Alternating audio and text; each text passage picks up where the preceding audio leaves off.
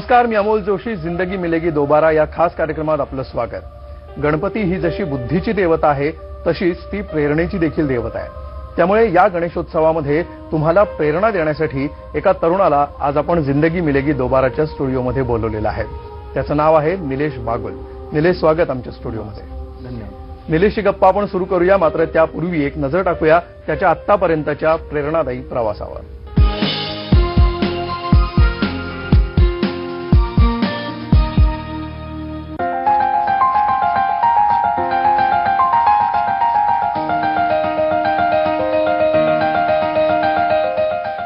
प्रचंड मस्तीखोर तरीही हुशार. शाळेतल्या सगळ्या कार्यक्रमांमध्ये उत्साहाने सहभाग घेणारा असा हा गोंडस सगळ्यांचा लाडका निलेश बागुल. वयाच्या सोळाव्या वर्षापर्यंत निलेशचं आयुष्य हे इतर मुलांप्रमाणेच होतं. मात्र म्हणतात ना सोळावं वरीस धोक्याचं. तसंच निलेशला हे वर्ष धोक्याचं ठरलं. सोळाव्या वर्षी निलेश रेल्वेतून पडून अपघात झाला आणि त्या अपघातात गुडघ्यापासून खाली दोन्ही पाय निलेशला गमवावे लागले. चालत्या फिरत्या हसत्या खेळत्या निलेशच्या आयुष्यात अचानक आलेलं हे वळण. निलेशनं मात्र त्याही परिस्थितीत सारं काही सकारात्मक घेतलं. गेलेली गोष्ट परत येणार नाही हा मनात विचार पक्का करत त्याने आपलं आयुष्य आहे तसं स्वीकारलं. हा मात्र यातही आपण पण दुसऱ्यावर अवलंबूनच नाही हे त्यानं पक्क केलं होतं. आणि म्हणूनच आजही तो आपलं शिक्षण पूर्ण करतोय. त्यातच एका नामांकित कंपनीत अर्थार्जनासाठी कामही करतोय. हे थोडं म्हणून की काय गणपतीच्या दिवसात आपल्या व्हीलचेअरवर विराजमान होऊन बाप्पाच्या आगमनासाठी ढोलही वाजवतो.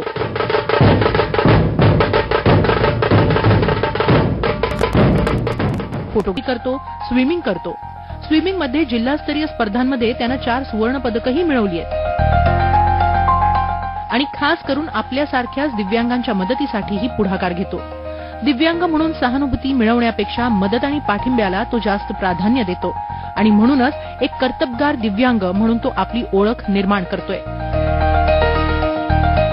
निलेशच्या या सकारात्मक आणि प्रेरणादायी प्रवासाला आमचा सलाम.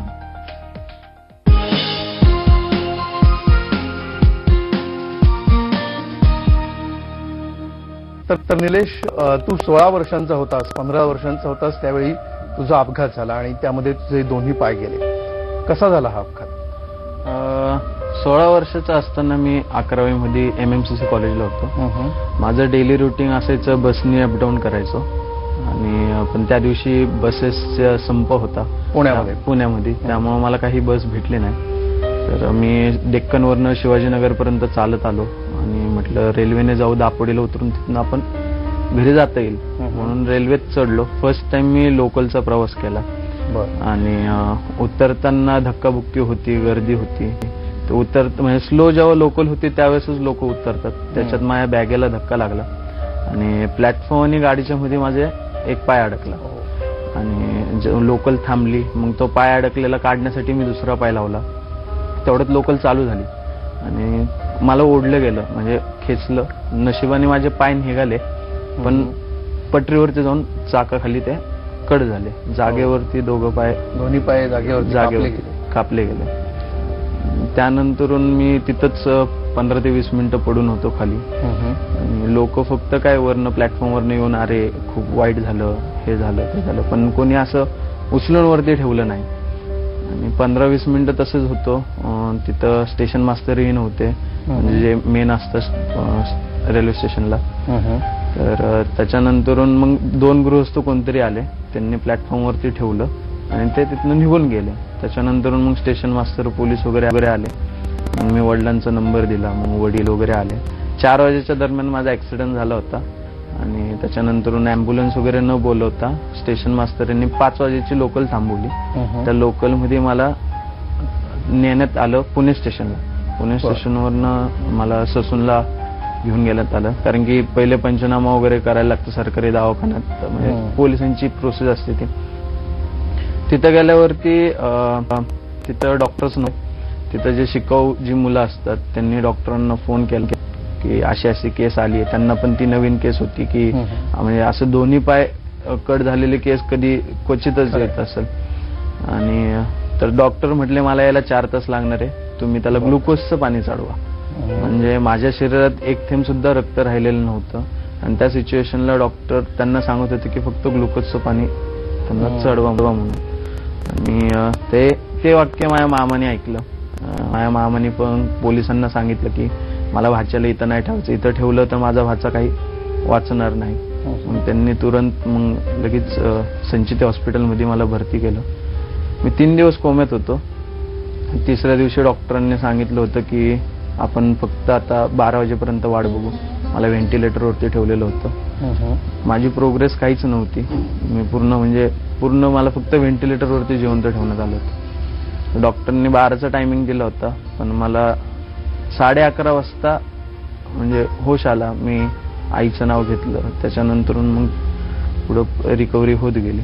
दोन वर दोन महिने मी संचिती हॉस्पिटलमध्ये होतो. ही अपघाताची घटना घडते. त्यानंतरचा जो काळ असतो हॉस्पिटलमध्ये जाणं किंवा आपल्यावरचे उपचार आणि त्यासाठी लागणारा वेळ हा वेळ एकदम पटकन निघून जातो. त्या प्रक्रियेमध्ये ज्यावेळी लोक असतात त्यावेळी कळत नाही की हा वेळ कसा गेला. मात्र ज्यावेळी तुम्ही हॉस्पिटलमधून घरी येता आणि एक बदललेलं आयुष्य आपल्यासमोर उभं राहिलेलं आहे याची जाणीव होते. त्यानंतर खरं आव्हान पेशंट समोर असतं. तर ह्यावेळी त्यावेळी तुझ्यासमोर काय काय ऑप्शन होते? किंवा काय भावना तुला यायच्या? कसं वाटायचं तुला घरी आल्यानंतर? ऍक्सिडेंट झाल्यानंतरून मला आठवत आहे की माझे दोन्ही पाय कट झालेले मी स्वतः बघितले होते. आणि अं, जेव्हा मी शुद्धीवरती आलो त्यावेळेस हम्म. आईला जेव्हा बोलवण्यात आलं तेव्हा आईने मला एक वाक्य बोलली होती आई की बाळा तुझ्या पायांना काही नाही झालेलं. फक्त फक्त आपण प्लॅस्टर केलं आहे पण मी ती सिच्युएशन बघितली होती. ती पायांची किती ना प्लॅस्टर घालायच्या अवस्थेत होते ना रॉड टाकायच्या अवस्थेत होते. त्यामुळे आईला मी फक्त तेव्हा एक बोललो होतो की आई तू खोटं नको बोलू. मला माहिती मी माझे दोन्ही पाय गमवलेले आहेत. आणि त्याचं दुःख मला झालं. मी एक महिना खूप रडलो. म्हणजे दवाखान्यात असताना खूप म्हणजे खूप रडलो. पण अं, मला एक व्हिडिओ दाखवण्यात आला. मिस्टर सलील जैन म्हणून डॉक्टर आहेत संचित हॉस्पिटलमध्ये त्यांनी मला एक व्हिडिओ दाखवला. एक दिल्लीचा मुलगा होता. ज्याचे दोन्ही पाय इलेक्ट्रिक शॉक लागल्यामुळं कट झाले होते. म्हणजे कट करावे लागले ऍक्च्युली तर तो पाय लावून म्हणजे तो फिरत होता मार्केटमध्ये त्याच्या आई वडिलांबरोबर त्याच्यातनं मला एक हिंमत आली की अरे हा करतोय तर मी का नाही करू शकत? त्याच्यानंतर माझं आयुष्य खूप म्हणजे बदलत गेलं. त्याच्यानंतर एफ ला मला आठवतंय जेव्हा मला कॉलेज स्वतः बोलवायला आलं होतं की तू आमच्या कॉलेजला ऍडमिशन घे म्हणून. पण त्यावेळेस म्हणजे त्या कॉलेजला मी अकरावी पासून होतो. म्हणजे दोन वर्ष मी तिथं होतो. नाही म्हटलं तरी. पण तिथं जे पहिले म्हणजे शिपायांपासून प्राचार्यांपर्यंत जी वागणूक होती माझी नॉर्मल असतानाची त्याच्या विपरीत मला वागणूक अपंगत्व आल्यानंतर मिळायला लागली. म्हणजे एक प्रकारे सहानुभूती म्हणू शकतो आपण की अरे खूप वाईट झाले तुला हे करू का ते करू का? पण तुम्ही पहिले मला मला कधी विचारलं होतं का तुला ही मदत पाहिलं का ती मदत? ठीक आहे ठीक आहे. मी करू शकतो. तर मला. करू द्यावं. त्रास देणारी हो त्रास देणारी सहानुभूती त्याची त्रास मला मला स्वतःला त्रास व्हायचा त्याचा. की म्हणजे का मी एवढा डिफरन्स काय झाला? माझे फक्त दोन पाय गमवलेत माझी बुद्धी तीच आहे. खरं. माझं बाकीचं शरीर तेच आहे. पण तुम्ही मग मला सहानुभूती ह्या प्रकारे का देतात? शिपायापासून ते अगदी वरिष्ठ पातळीपर्यंतच्या लोकांचा अॅटिट्यूड बदलला. तसं इतर कुठल्या कुठल्या बाबतीत अॅटिट्यूड बदलला? मित्रांचा बदलला का? शेजारी पाजाऱ्यांचा बदलला का? घरच्यांचा बदलला का?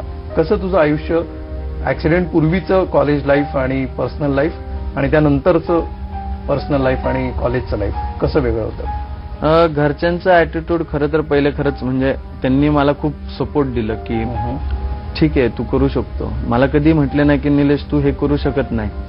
ठीक आहे म्हणजे जसं स्विमिंगचं आहे माझं मी स्विमिंग करतो. पण मला घरच्यांनी कधी नाही म्हटलं की तू स्विमिंग नको करू तू स्विमिंग कसं करशील? हा बाकीच्या लोकांनी सांगितलं. अच्छा. इवन म्हणजे जे मित्र होते ते पण मला म्हटले की अरे निलेश कसं पॉसिबल स्विमिंगला तर आपल्याला पाय मेन लागतात. तू जर पायच नाही तर तू स्विमिंग कसं करू शकतो?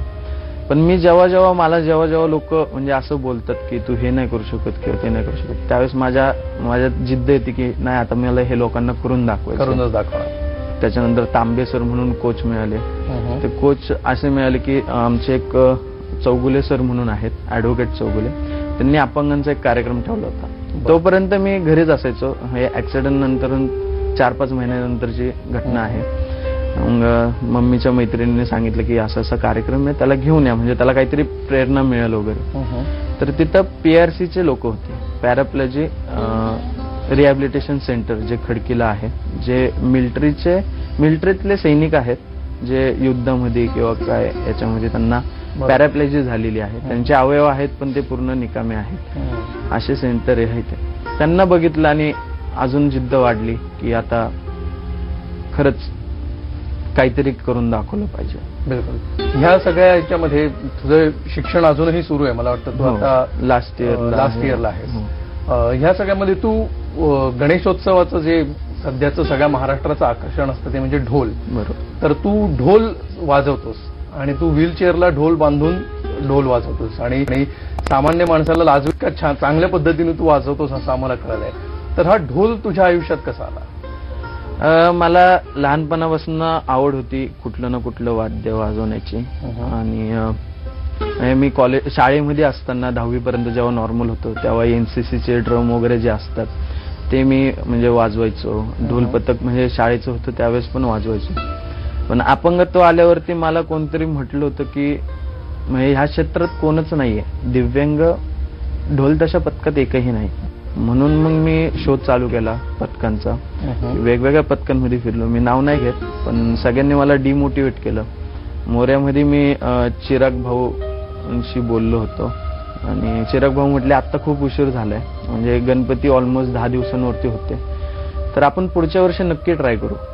म्हणजे तो एक आशा होती मला एक वर्ष म्हणजे हे करण्याची. पुढच्या वर्षी की का पुढच्या होईना मी ट्राय तरी करू शकतो. मला स्वतःहून चिराग भाऊंनी तीन महिने पहिले फोन केला की आपली पथकाची मीटिंग आहे तर तुला जमत असेल तर ये. मीटिंगमध्ये गेल्यावरती त्यांनी मला खूप पॉझिटिव्ह म्हणजे पथकामधले मुलं किंवा पथक प्रमुख चिंतन शाह चिराग शाह यांनी खूप म्हणजे मला मोटिवेट पण केलं की हा तू का नाही वाजवू शकत? आम्ही वाजवतो तर तू पण वाजव. काही प्रॉब्लेम नाही. फक्त प्रॉब्लेम असे होते की ढोल ठेवणार कुठं? म्हणजे ढोल म्हणजे नॉर्मल चेअरवरती ठेवून बघितला पण तो खाली घसरत होता. त्याला बांधायला पण खाली सपोर्ट नव्हतं. मग त्यांनीच मला त्यांनी म्हणजे दोन- दोन चार जणांनी असं एक आयडिया केली की आपण इथं एक रॉड लावूयात खाली. मग ते एवढे एवढे छोटे छोटे रॉड लावले. त्याच्यावरती ढोल ठेवला. तो परफेक्ट बसला. मग त्याला बांधायचा कसा? इथपासून पूर्ण सुरुवात होती आणि त्यांनी मला खूप म्हणजे असं नाही म्हटलं की अरे तुला एवढं हे लागणार आहे जाऊ दे तू नको वाजू पण त्यांनी मला उलट मोटिवेट केलं. Nilesh you can do it नेमका काय आनंद आहे? काय त्यातनं स्फूर्ती आहे जी ही ढोल वाजवल्यामुळे तुला मिळते? ढोल वादनातनं खरंच एक खरोखर एक परमानंद म्हणू शकतो आपण. म्हणजे एक आनंद भेटतो की आपला लाडका बाप्पा त्याची मिरवणूक. म्हणजे त्याला आणताना किंवा त्याला जाताना आपण त्याला म्हणजे अलविदा करतो किंवा स्वागत करतो. आणि तो ढोल वाजवण्यातनं एक वेगळा आनंद भेटतो. आणि मेन म्हणजे मला जे जे क्ष- क्षेत्र दिव्यांग नाही आहेत ठीक आहे. त्या त्या क्षेत्रात जायचं आहे. त्या त्या क्षेत्रात मला उडी घ्यायची आहे. म्हणजे त्या क्षेत्रात मला यशस्वी बनवूनच दाखवायचं आहे. मला फोटोग्राफीची आवड आहे. मी फोटो काढ फोटोग्राफी करतो. मी जी पालखी असते आपली आळंदीवरनं जी निघते. आम्ही आळंदी ते एफसी रोड दरवर्षी आम्ही चार पाच जणांचा मित्रांचा ग्रुप आहे. व्हीलचेअर वरती आम्ही येतो. या गप्पा आपण अशा सुरू ठेवूया. एक ब्रेक घेऊया आणि ब्रेक नंतर आपण भेटणार आहोत. पाहत रहा जिंदगी मिलेगी दोबारा.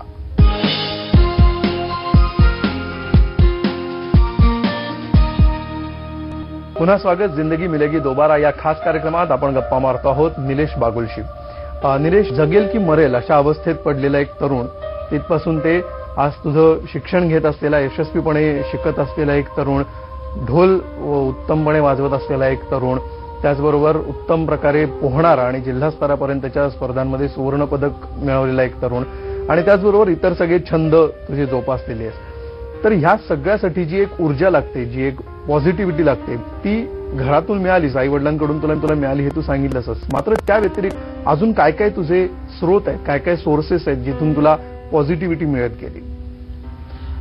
जसं बालकल्याण संस्था म्हणून एक पुण्यात संस्था आहे. तिथं मी स्विमिंग शिकतोय. तिथं असे भरपूर मुलं येतात की जे माझ्यापेक्षा वाईट परिस्थितीत आहेत. आणि खूप लहान लहान म्हणजे चौथी पाचवीतली मुलं असतील. त्यांच्याकडून बघून सुद्धा म्हणजे त्यांची जिग- जगण्याची जी इच्छा आहे त्यातनं एक प्रेरणा मिळते की हा निलेश तू पण काहीतरी करू शकतो. तसंच अजून एक आहे जसं तुम्हाला पीआरसी मी पहिले सांगितलं. हो. मी तिथं फर्स्ट टाइम जेव्हा गेलो होतो त्यावेळेस म्हणजे त्याच्या पहिले मी खूपच निराश होतो. म्हणजे दाखवत नव्हतं पण मनातनं निराश होतो की हा बाबा म्हणजे खूप वाईट झालंय आपल्याबरोबर. पण पीआरसी मध्ये काही असे लोक आहेत ज्यांची फक्त मुंडी हलते. म्हणजे फक्त एवढंच. म्हणजे खायचं असेल तर दुसऱ्यांच्या हातून. काही बाकीचे कार्य करायचे असतील तेही दुसऱ्यांच्या हातून. पण त्यांच्याकडे बघून असं नाही वाटत की ते निराश आहेत. त्या- त्यांना जगायचं नाहीये. त्यांना उलट जगण्याची इच्छा आहे. त्यांच्या ऍक्टिव्हिटीज जर बघितल्या ना म्हणजे ते तोंडाने चित्र काढतात आणि हात असलेल्याला लाजवेल असे ते चित्र काढतात. खूप अवघड आहे. त्यातनं पण मला खूप अशी प्रेरणा मिळाली. चौगुले सरांनी मला खूप म्हणजे प्रेरणा देण्यासाठी खूप खूप ठिकाणी नेलं सरांनी. जसं कोल्हापूरला सरांची संस्था आहे. तिथं मला चौगुले सरांनी नेलं एकदा दोनदा. आणि दाखवलं मला की ही मुलं करतात ते तू का नाही? म्हणजे खूप असं मला लोक मिळत गेली. वेगवेगळ्या टप्प्यावर टप्प्यावरती वेगवेगळी व्यक्ती- व्यक्ती मला भेटत गेल्या आणि त्या व्यक्तींनी मला प्रोत्साहन देण्याचं काम केलं. बिलकुल. अशाच काही व्यक्तींच्या प्रतिक्रिया आज आम्ही तुझ्यासाठी आणलेल्या आहेत. तर या स्क्रीनवर आपण बघूया ते काय म्हणतात. निलेश ज्यावेळेस माझ्याकडे आला होता तो निलेश आणि आत्ताचा निलेश याच्यामध्ये आमूलाग्र झालेला आहे. आणि त्याची जी जिद्द बघून मी सुद्धा स्वतः स्वतः थक्क झालेलो आहे. जसा तो पुढे गेला तसं त्याच्याबरोबर त्याच्यासारख्या विद्यार्थ्यांना त्यांनी पुढे घेऊन जावं अशी माझी स्वतःची वैयक्तिक इच्छा आहे. आणि त्याच्या भावी आयुष्यासाठी माझ्यातर्फे खूप खूप शुभेच्छा. त्याने आम्हाला त्याच्या आईला किंवा मला किंवा त्याच्या आजी आजोबा मामा मामी या कोणालाही रडू दिलं नाही. डे वनपासून जेव्हापासून त्याला हॉस्पिटलमध्ये कळायला लागलं त्या दिवसापासून त्यांनी कधीही रडू दिलं नाही. आज त्याच्यामुळं आम्हाला ओळख झा- आमची ओळख झालेली. नाही तर बघतो आपण की बा फलाण्याचा मुलगा आहे त्याचा मुलगा आहे. आज निलेशचे वडील आहेत. हे हेच ना आम्हाला खूप गर्वाने सांगावं असं वाटतंय. त्यांनी आजपर्यंत जे खूप मेडल मिळवले सगळं काही. आणि आज प्रहार अपंग क्रांती संघटनेचा तो पिंपरी चिंचवड शहराचा त्यातल्या त्यात सांगवी पिंपळेगुरो दापोडी या भागाचा तो ऍक्टिव्ह सभासद आहे. तर त्याच्या मार्फत रविवारी दर रविवारी त्या अपंगांसाठी झटतात ते. त्याच्यासाठी ते मोदीपर्यंत जाऊन भेटून आले. तर त्यामुळं त्याला एकच सांगणं आहे बेटा तू असंच कार्यरत राहा आणि तुझी जी इच्छा आहे किंवा आपण एक स्वतः आपली एक अपंगांसाठी दिव्यांगांसाठी एक संस्था काढू आपण एक. त्याला माझाही आशीर्वाद आहे आणि आपण नक्की ते पूर्ण करू. त्यांनी त्याच्या जिद्दीवरती स्वतः कॉलेज कॉलेज कंप्लीट केलं. कॉलेजनंतर त्यांनी ते स्विमिंग स्विमिंगमध्ये त्याला भरपूर मेडल मिळालेत. ना नाशिकला परत मुंबईला बालकल्याण पुणेमध्ये त्याला भरपूर मेडल्स आणि अवॉर्ड्स भेटलेत त्याला. परत त्यांनी आता शॉर्टसुद्धा का काढतो तो त्याला त्यात खूप इंटरेस्ट आहे त्याला. त्यांनी आत्ता तो सध्या आय बी एम कंपनीमध्ये कामाला आहे. आणि तो खूप असा जिद्दी आणि हे माणूस आहे. म्हणजे खूप त्याच्या होप्स खूप आहेत त्याला की त्याने पण काहीतरी आपल्या आयुष्यात करावं असं मला पण खूप वाटतं त्याच्या अशी परिस्थिती बघून आम्हाला असं वाटलं की आम्ही काहीच नाही त्याच्यासमोर की तो एवढी त्याच्या एवढे जिद्द आहे की तो एवढा असूनही तो ढोल वाजवतो आणि अप्रतिम ढोल वाजवतो. हे त्याचं चौथं वर्ष वर्ष आहे. आणि आम्ही मला तर असंच वाटतं की त्याला शिकवणं म्हणजे आम्ही काहीतरी कमी आहे. म्हणजे आमच्यात काहीतरी कमीपणा असं वाटतंय. आणि मी एवढंच सांगेल की चार वर्षानंतर चाळीस वर्ष जोपर्यंत पथक आहेत तोपर्यंत त्यांनी आम्हाला मार्गदर्शन करावं. तोच इतरांसाठी एक खूप मोठा आदर्श आहे. काय वाटलं हे सगळं बघून? खूप आनंद वाटला. एक ब्रेक घेऊया आणि ब्रेक नंतर आपण भेटूया. निलेशची स्वप्न काय आहेत त्याच्या महत्वाकांक्षा काय आहेत या सगळ्याविषयीच्या गप्पा आपण त्याच्याशी ब्रेक नंतर मारणार आहोत. पाहत रहा जिंदगी मिलेगी दोबारा.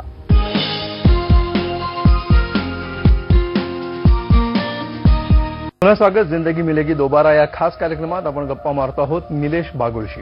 निलेश आतापर्यंतचा तुझा प्रवास तर आम्ही ऐकला. इथून पुढे जो तू मागच्या भागात अगदी शेवटी शेवटी उल्लेख केला होतास की तुझी काही स्वप्न आहेत दिव्यांगांसाठी. काय काय तुझी स्वप्न आहेत इथून? अं, मला स्वतःसाठी आता काही करायचं नाहीये. जे करायचंय ते आई वडील आणि दिव्यांगांसाठी करायचंय. कारण की दिव्यांग दिव्यांगांना खूप हिनवलं जातं. म्हणजे ह्या याच्यामध्ये दिव्यांग जगू शकत नाही कसे जगू शकत नाही ते पटवून दिलं जातं दिव्यांगांना. तर मला ती सिच्युएशन चेंज करायची आहे. दिव्यांगांच्या बाबतीत जी सिंपत्ती दिली जाते ती चेंज करायची सिंपत्ती नको आम्हाला. आम्ही करू शकतो तर आम्हाला चान्स द्या तुम्ही पण सिंपत्ती नका देऊ. ठीक आहे मी केळी विकू शकतो तर मला कमीत कमी केळी टाक केळी विकण्याचं ठेलं तरी टाकून द्या. किंवा त्याच्यासाठी मदत करा किंवा त्याच्यासाठी प्रोत्साहन द्या. ठीक आहे. माझी एक म्हणजे जसं मी माग मागच्या ह्याच्यात बोललो की मला एक अशी आश्रम संस्था ओपन करायची आहे. की ज्याच्यामध्ये दिव्यांगांना फक्त आणि फक्त दिव्यांग प्लस जे रोडवरती जे गरीब असतात पण त्यांच्याकडे शिकण्याचे पैसे नाहीयेत किंवा घर नाहीये त्यामुळे ते भीक वगैरे मागत असतात. त्यांच्यासाठी एक आश्रम ओपन करायचा आहे. आणि त्याच्यामध्ये जे लहान मुलं आहेत त्यांना शिक्षण म्हणजे खूप मोठं त्यांना जे आवडेल ते शिक्षण त्यांना जे म्हणजे जे काम करता येतं ते त्यांच्याकडनं काम करून घेणं त्याला मार्केट उपलब्ध करून देणं आणि त्यांच्यातनं आलेला जो पैसा आहे तो त्यांच्यामध्येच वाटून देणं. सोळावं वर्ष हा एक फार मोठा आणि महत्त्वाचा टप्पा असतो. हे सोळावं वर्ष धोक्याचं असं पण एक गाणं आपल्याकडे फेमस आहे. त्याच वर्षी तुझं आयुष्य बदललं आणि खरोखरच ते तुझ्यासाठी धोक्याचं ठरलं. आणि तुला दोन्ही पाय गमवावे लागले. तर आता या अपघाताकडे बघताना तुला काय वाटतं? या अपघाताने तुला आयुष्यामध्ये काय दिलं असं वाटतं तुला? ते म्हणतात ना जो होत आहे अच्छे के लिए होत आहे ठीक आहे. म्हणजे आता ठीक आहे गेले. नाही येत मला दोघं पाय. पण मी व्हीलचेअरवरती फिरतोय. मला तुम्ही सांगा कुठं जायचंय. जसं आता आम्ही दोन महिन्यापूर्वी एक हिरवे वस्ती म्हणून एक गाव आहे. तिथं ज्ञानप्रबोधिनीने म्हणजे त्या वस्तीमध्ये आठच लोकांची फॅमिली आहे. आणि ते तिथं पाण्याची अत्यंत तुटवडा आहे. त्यामुळे ज्ञानप्रबोधिनी शाळेने म्हणजे ज्ञानप्रबोधिनी संस्था जी आहे त्यांनी विहीर खंदून देण्याचं काम केलं होतं श्रमदानातून. हो. तर आकाश सर भेटले होते म्हणजे आमच्या मोऱ्यातर्फे माझा कॉन्टॅक्ट झाला होता. मग मोऱ्याचे आम्ही चार पाच लोक आणि तिथं आम्ही गेलो होतो. ती हिरवे वस्ती होती दोन डोंगर पलीकडं. दोन डोंगर चढायचे आणि तो अर्ध्यावरती म्हणजे पठार जे असतं ना वरती त्याच्यावरती ती वस्ती होती. पहिले मी विचारलं आकाश सरांनाच की सर मी येऊ शकतो का? तर आकाश सर म्हटले जर तुझी इच्छा असेल तर मी कोण आहे थांबवणारा? तर मग आम्ही सगळे गेलो गाडी ह्या डोंगरावरती लावली व्हीलचेअर जिथपर्यंत जाईल तिथपर्यंत नेण्यात आली. मग पुढं कसं व्हीलचेअरला जागा नव्हती पायवाट एकदम खडखड रस्ता. मी काही एक डोंगर सोडलो मित्रांनी काही मदत करून उचलून मला अर्धा डोंगर केलं आम्ही. ते चढलो तिथं श्रमदान केलं. ती विहीर कंप्लीट झाली. त्या विहिरीमुळे आता त्या लोकांना तिथं पाणी बाराही महिने भेटलं. तो एक आनंद भेटतो की आपण काहीतरी केलंय त्याच्यामुळे कोणाला तरी फायदा झालाय. हे. खूप महत्वाचं असतं. की आपण मदत करणं महत्वाचं आहे. की मग नाहीतर आपण काय म्हणतो अरे ही आहेत ना ही करतील मदत. आता म्हणजे असं भरपूरदा झालंय. आता माझ्याच ऍक्सिडेंट बरोबर जर म्हटलं तर मला खालनं वरती कोणी उचलून ठेवलं नव्हतं. आणि ती ट्रेन होत होती म्हणून दोन जण कोणीतरी उचलून मला परत ठेवलं. नाहीतर मग काय झालं असतं? तसं माझ्यासमोर पण भरपूर ऍक्सिडेंट झाले. पण मी कधी असं निघून नाही गेलो साईडने तिथं जे पण ऍक्सिडेंट असतील किंवा मारामारी त्यांचे ऍक्सिडेंट नंतर शक्यतो तू ठोकली तू ठोकली ते हो. बाचाबाची असते. ते पहिले थांबून ज्याला लागले त्याला उचलून पहिले दवाखान्यात नेणं हे माझं पहिलं काम. बिलकुल. म्हणजे हे हा सगळा जो बदललेला दृष्टिकोन आहे तो या अपघातातूनच तुला मिळाला आणि त्यामुळे जो होता है वो अच्छे के लिए होता है हे तत्व घेऊन हे तत्वज्ञान घेऊन तू इथून पुढचं आयुष्य जगतोयस. तुझी सगळी स्वप्न जी आहेत तुझ्या सगळ्या महत्वाकांक्षा ज्या आहेत त्या सगळ्या पूर्ण होत. तुला उत्तम आरोग्य आणि दीर्घायुष्य लाभो या शुभेच्छा. आणि थँक्यू व्हेरी मच तू आमच्या स्टुडिओमध्ये आलास आणि तुझा हा सगळा प्रवास आमच्याशी शेअर केलास त्याबद्दल. तर प्रेक्षक हो ज्यांनी मृत्यू जवळून पाहिलेला असतो त्यांना आयुष्याची खरी किंमत खूप लवकर समजलेली असते. त्याचंच एक उदाहरण म्हणजे निलेश आहे. आणि त्यामुळे ज्यांना आपल्या आयुष्याची किंमत समजली आणि त्यामुळे इतरांच्याही आयुष्याची किंमत वाढवण्यासाठी जे आयुष्यभर झटतायत आणि झटत राहणार आहेत अशाच काही अवलियांना घेऊन जिंदगी मिलेगी दोबाराच्या पुढच्या भागांमध्ये देखील आपण भेटत राहणार आहोत. तोपर्यंत विसरू नका जिंदगी मिलेगी दोबारा.